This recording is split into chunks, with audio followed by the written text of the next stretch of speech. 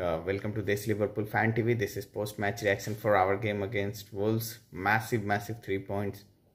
It was tough, and in the second half, it was more of a fight than a game. Really, we have to dig really deep, deep.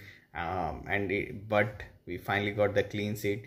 I, I, uh, for the goal which was chopped off from Wolves, I can understand they they will be disgruntled and devastated and i can tell you that as a liverpool fan we have gone through that Firmino offside against Aston Villa, Mane offside against Watford, and there are few occasions which we felt that we are hardened by.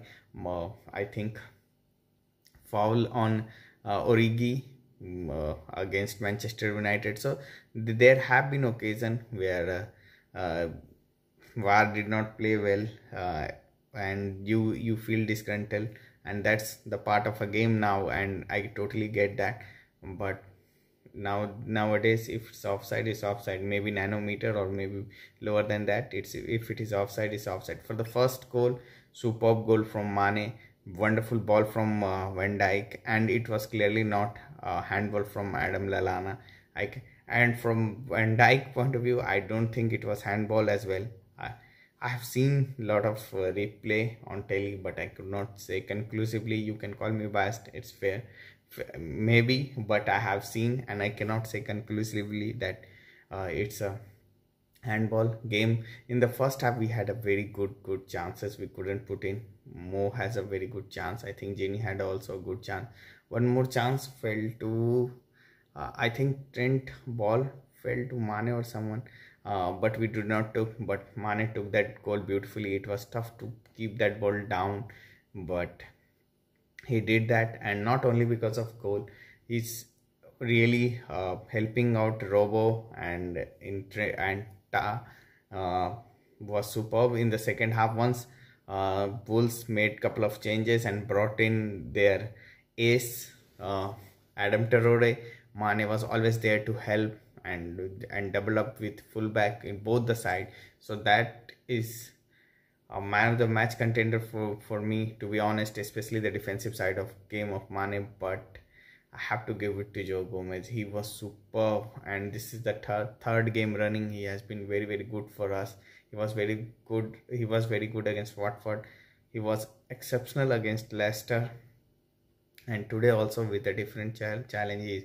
Now we are seeing the joe gomez of last season really and he's really stepped it up. And we really needed him and couple of clean sheet especially against two very very strong side very very strong and aggressive side. So joe gomez my man of the match and notable mention as well adam lallana. Our all, all the three midfielders who started adam lallana hendo was superb Gini was excellent and all the three were superb and they deserved sort out and so if someone wants to give them man of the match I'm, I'm totally in for that because they were also excellent.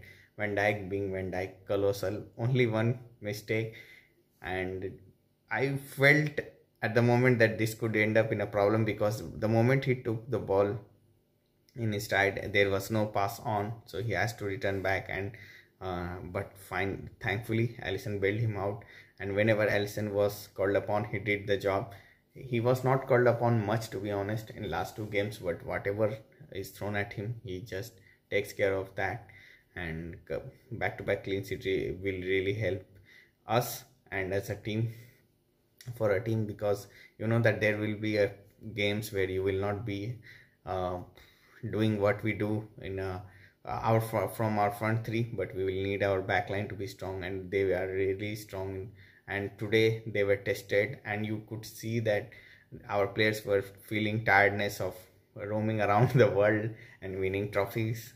And then going to Leicester that was also challenging game even though scoreline will not say that but we played a very very high class game and which would have won out a few of our players and still Klopp did not make changes because he wanted to go strong against Wolves because Wolves uh, we have seen what they did to Man City. So Klopp went strong and rightly so.